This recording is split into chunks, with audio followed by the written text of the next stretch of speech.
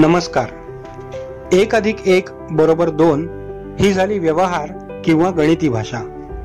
पण जिथे व्यवहार संपतो आणि दोन मन दोन घर जुळतात तिथे एक अधिक एक फक्त दोन राहत नाही तर अनेक जण जोडले जातात.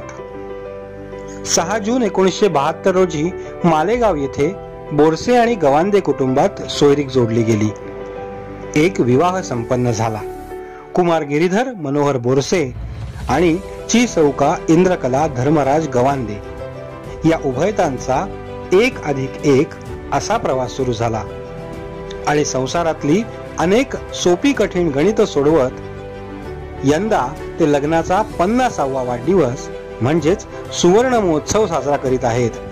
पण दुग्धशर्करा योग म्हणजे पंच्याहत्तर पावसाळ्यांचा जमा खर्च गाठीशी ठेवून श्री गिरीधर मनोहर बोरसे म्हणजेच आमचे लाडके बाबा अमृत महोत्सवी वर्षात पदार्पण करत आहेत.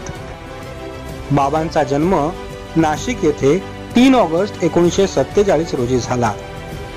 आई सौ सत्यभामाबाई आणि वडील श्री मनोहर पंतांबरोबर लहान गिरीधर यांचे नाशिक येथेच शालेय शिक्षण सुरू झाले. मात्र शालेय जीवनातच वडिलांचे छत्र हरपले मग इयत्ता तिसरी पासून दहावी पर्यंतच्या शिक्षणासाठी कुमार गिरीधर सटाणा येथे राहिले. अकरावी इयत्तेचे शिक्षण पूर्ण करण्यासाठी त्यांना ठाणे येथे यावे लागले. ठाण्याला श्री बापूसाहेब आणि निळूदादा यांच्या घरी राहण्याचा प्रश्न सुटला. शालेय जीवनात गणित या विषयात कुमार गिरीधर खूप हुशार होते. त्यांना अकरावी इयत्तेमध्ये गणितात विशेष प्रावीण्य मिळाले.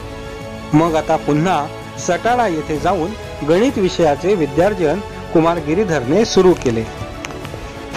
काही काळ क्लासेस घेत असतानाच ठाणे जिल्हा सहकारी बँकमध्ये क्लर्क म्हणून नोकरीची संधी त्यांना मिळाली.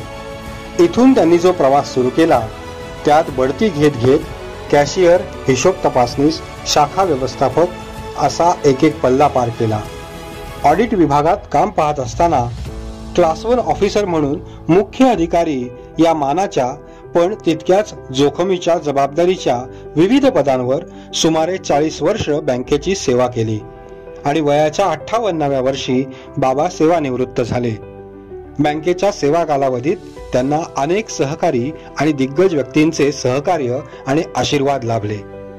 यामध्ये माननीय श्री विठ्ठलराव खाडे साहेब माननीय श्री आर सी पाटील साहेब माननीय श्री विके के पाटील साहेब माननीय श्री टावरे साहेब यांचे मोलाचे सहकार्य लाभले. तर माननीय श्री शिसवे साहेब माननीय श्री महाजन साहेब माननीय श्री घोलप साहेब आणि माननीय श्री देशपांडे साहेब यांचे उत्तम मार्गदर्शन मिळाले. नोकरीच्या निमित्ताने बाबा ठाण्याला आले आणि गणादादा यांच्याकडे शहापूर येथे ते राहू लागले. नंतर गणादादांनी शहापूरच्या बाबाशेठ चाळीत एक स्वतंत्र खोली दिली आणि आजीसोबत ते तिथे राहू लागले. नोकरी सुरू असतानाच एकोणीसशे बहात्तर साली बाबांच्या आईला म्हणजे सत्यभामाबाई यांना देवाज्ञा झाली. मग श्री बापूसाहेब यांनी पुढाकार घेऊन कुमार गिरीधर याच्यासाठी स्थळ पाहण्यास सुरुवात केली आणि एका वर्षाच्या आतच मालेगावचे श्री धर्मराज गवांदे यांच्या द्वितीय कन्या इंद्रकला हिच्यासोबत कुमार गिरीधर यांचा विवाह झाला. आता शहापूर येथे चाळीमध्ये हे नव दाम्पत्य आलं.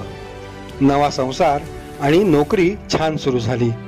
चाळीतल्या वास्तव्यात श्री भास्कर भाऊ सुरेश दादा काका आप्पासाहेब छगन गुरुजी प्रभाकर सोनावणे या सर्वांचा चांगला शेजार लाभला. चाळीतल्या आठवणी सांगताना बाबा गणेशोत्सव आणि त्यांनी स्थापन केलेल्या मित्रमंडळाची गोष्ट मोठ्या आपुलकीने सांगतात. सार्वजनिक गणेशोत्सव पावसामुळे व्यवस्थित साजरा करता येत नसल्याने त्यांनी या ठिकाणी मागे गणेशोत्सव आणि त्यात सामाजिक कार्यक्रमांची सुरुवात केली. चाळीतल्या शेजार पाजाऱ्यांसोबत आणि तिथल्या सण समारंभात बाबा रमले होते पण नव्या संसाराचे भानही त्यांनी ठेवले होते. आमची आई सुषमा तिच्या रूपाने बाबांच्या संसारात लक्ष्मीच आली. लग्नानंतर सहा वर्षातच म्हणजेच एकोणीसशे अठ्याहत्तर साली बाबांनी कल्याणमध्ये स्वतःचं घर घेतलं आणि हळूहळू घराचं गोकुळ झालं. आम्हा चार भावंडांचा या गोकुळात किलबिलाट सुरू झाला.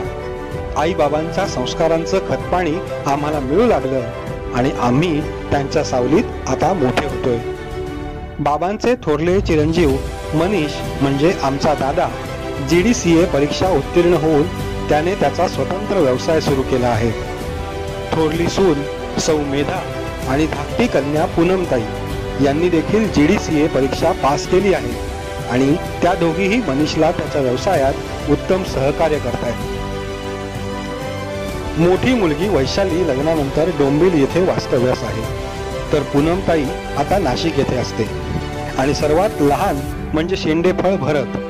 भरतने फायनान्समध्ये एम बी ए करून ग्लोबल फायनान्स कंपनीत आता तो कार्यरत आहे. दिशा भार्गव आणि वेदिका या नातवंडांच्या रूपानं बोरसेंच्या अंगणात या तिसऱ्या पिढीची फुलपाखरं बागडत आहेत. कुटुंबाचे संगोपन आणि अर्थार्जन या व्यापातूनही आई आणि बाबा दोघांनी समाज मन जपलं. समाजाची बांधिलकी जपली. ज्येष्ठ नागरिक संघ अखिल भारतीय शिंपी समाज अशा सामाजिक संस्थांमध्ये जबाबदारीची पदं सांभाळून मोठ्या पुढाकाराने ते सेवा करीत राहिले. आमच्या आईला लहानपणी चित्रपट पाहायची खूप आवड. नवीन चित्रपट आला की तो थिएटरमध्येच जाऊन पाहायचा हा तिचा बालहट्ट. तिच्या वडिलांनी आणि नंतर भावांनी पूर्ण केला. पण लहानपणी चित्रपटात रमलेली आई आज विविध संस्थांच्या महिला आघाडीवर रमते तर विठ्ठलाच्या भजनातही तल्लीन होते हे सांगताना खरंच खूप अभिमान वाटतो. अशा या कुटुंब वत्सल कर्तव्य दक्ष आणि सामाजिक भान जपणाऱ्या आमच्या आयडोल आईबाबांना उत्तम आरोग्यासाठी अनेक अनेक शुभेच्छा.